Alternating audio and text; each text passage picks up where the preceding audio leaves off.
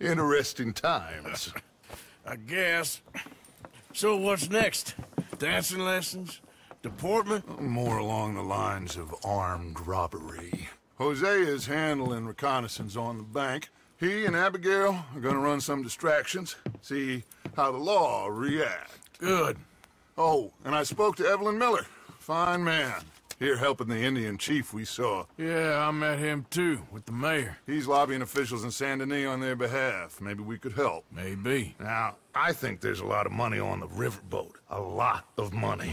And Trelawny, he's investigating for us. He says to meet him at the tailor's. Okay. One big score down here, Arthur, and we disappear. We are almost heading home. Where is home? I don't know. Exactly. But I can smell it. I'm gonna go investigate this trolley thing old Bronte was talking about. Okay.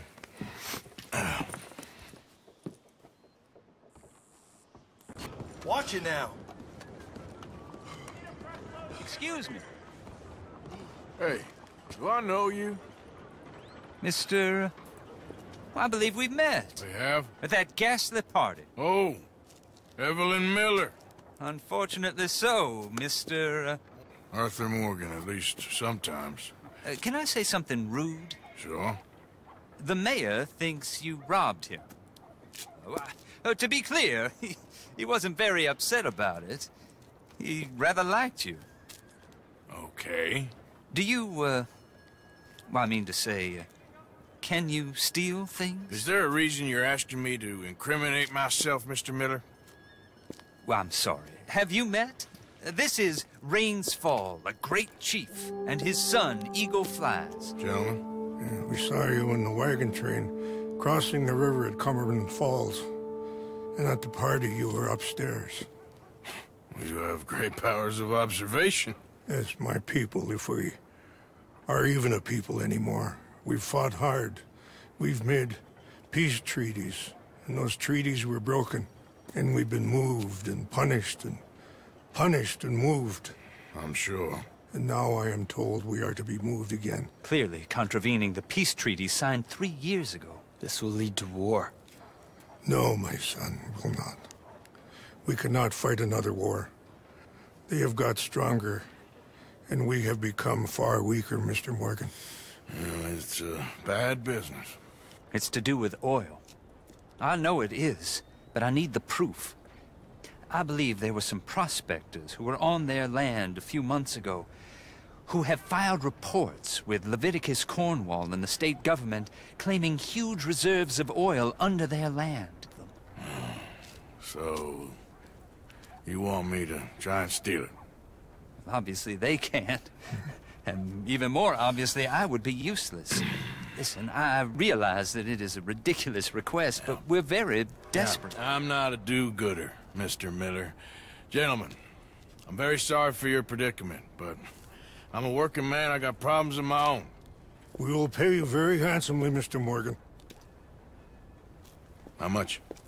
I told you, they're all mercenaries. There's a price on my head in two states, my friend. The government doesn't like me any more than it does you. Like you, I've been running for as long as I can remember. And like you, my time here is nigh undone. We understand, and we will pay. Thank you.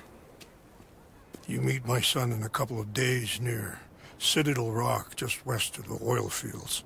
Okay. We are very grateful for your help. Gentlemen, that appointment with the senator. We should head over there. It's a waste of our time. And his. We must try everything. Come along. Hello, Mr. Miller. The counselor wants to apologize. He can see you now. We've been waiting I don't know how long. Or next month, if you'd like to reschedule. Come. Perhaps the senator won't mind waiting. There.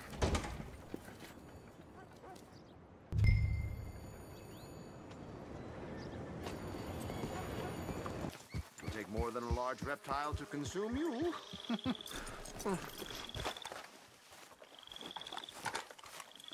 They creep up on you, you know. Mr. Morgan.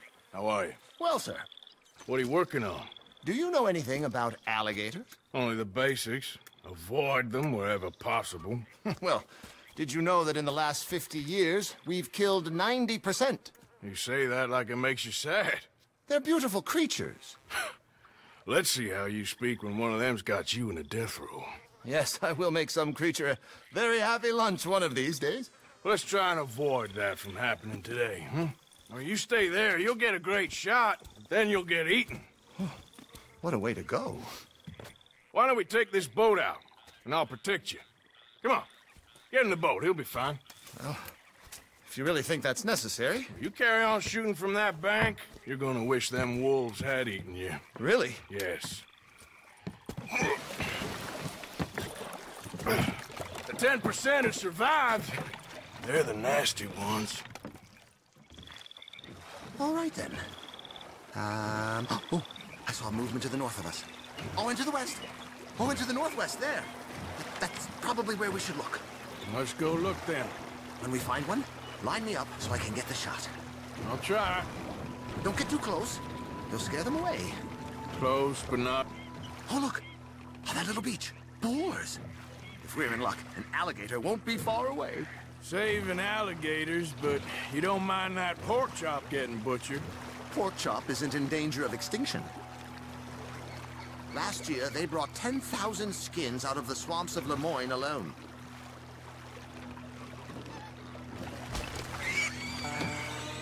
Gator! It's got it! Quick, quick! I must get this shot! We caught him! The middle of his dinner. This is history-making, truly. Nature, in all its glory and cruelty. Could have been you if you stayed on that bank where I found you. Don't. Okay. So, um, now it's southwest or due west. You know, in the season, there are more alligator hunters down here than, than alligators. Maybe you can take a photograph of one of them then. Very droll. There was even a tour company that let excursionists shoot from the deck of a paddle steamer. Chugged up the waterways and churned whole bayous into mud. Thankfully, the state legislator put a stop. A paddle steamer, huh? Now, why didn't we think of that? Right. Right. There, in the canebrake. That's a likely spot for one. Take us around the island until we see something. Okay. There, in the channel. You see its head? Put that away! We're conservationists, not killers. Excellent. Beast in repose. All is calm as the predator lurks. The final sighting was to the northwest of here. 17 feet, 19 feet, 21 feet with a five-foot head. What? They found some big bulls in these parts. Surely they did. There's 20-foot gators here, and us two idiots are sitting in a 12-foot skiff? No. This is in the 70s, 80s. All the really big gators have been hunted out and killed.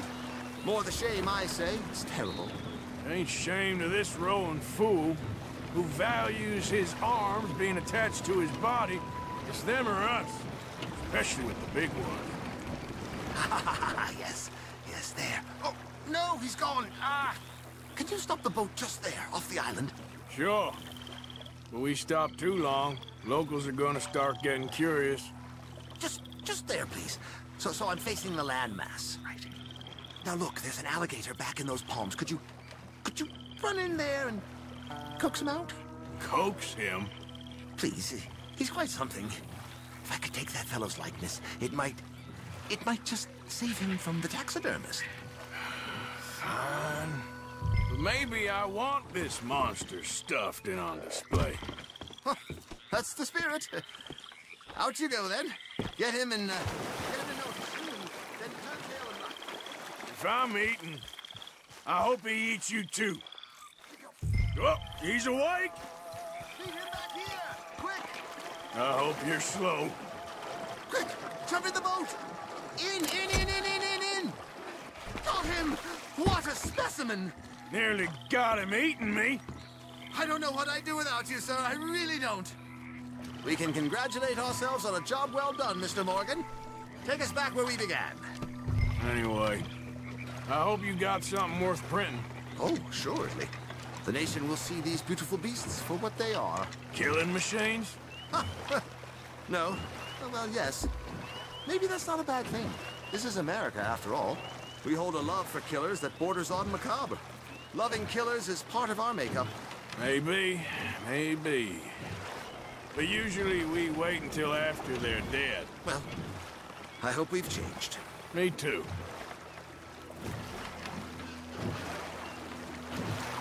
Ah, yes. Docker here. Just pull up to the bank.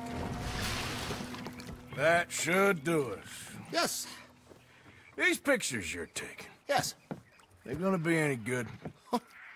I certainly hope so. Though I doubt it. The subject is magnificent, the backdrop jaw-dropping, but the agent of beauty is a talentless fool. Although maybe I'll strike a few lucky shots. You sure do make me laugh that way you talk about yourself, Mr. Mason. Well, I'm good for laughing at, if nothing else. I didn't mean it like that. I know. Still, I feel such a fool round you, sir. Don't worry about it. Oh.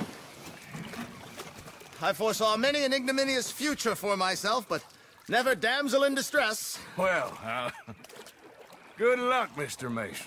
Thank you, and to you too, sir. Try and stay out of trouble. I shall certainly try.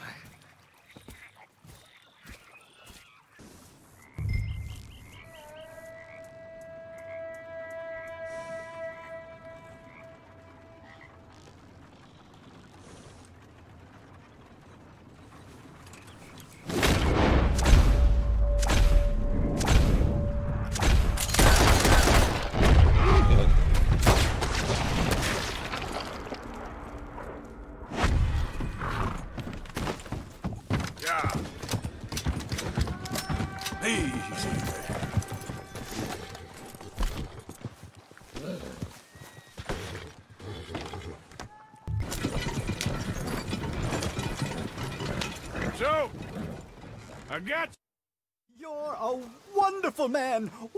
Wonderful. you got my money? it's, it's for a very good cause. Uh, my name is Professor Andrew Bell III. Perhaps you've heard of me. Can't say that I have. oh, I'm an inventor. Uh, maybe you've read about me. Uh, I don't read much. Oh, oh well, that's too bad. Oh, yes. You got my money? oh, well, it, is the most wonderful invention, friend. Oh, you, sir, have done a great All deed. I've done is get some creep a lot of drink. Creepers. Excellent. No nonsense. Now, you've helped me develop the most humane machine imaginable. A way to induce calmness to our most troubled souls. A way to end the barbarity of a public hanging. Oh, so, so humane. What are you talking about? The electric chair. What?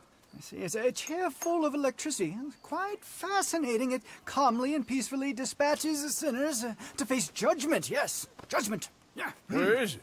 Well, uh, it's in my laboratory. The next thing I need is a, a demonstration. A public one. Huh. Uh, do you know the police chief? Hmm? As well as anyone. Wonderful! Perhaps you can encourage him to let me demonstrate the chair. It will help bring this town into the next century. Yes, c- could you do that? Hmm?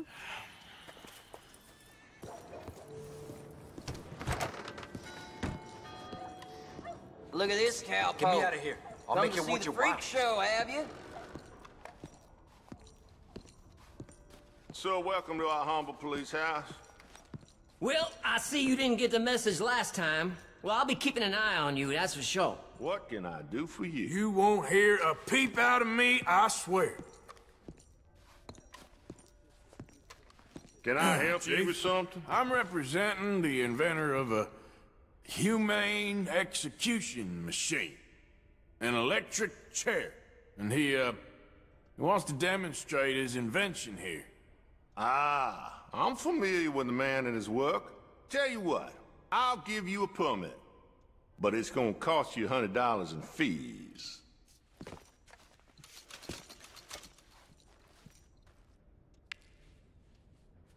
Okay.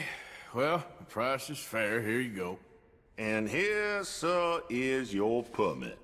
Uh, Pending the usual formalities, of course, such as uh, finding a suitable candidate for humane dispatchment. I'll tell that to the professor. Good luck.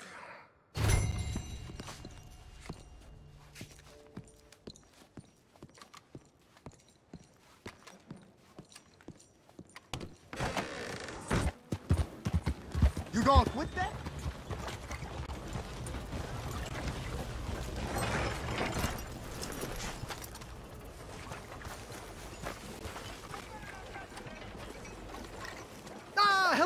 friend!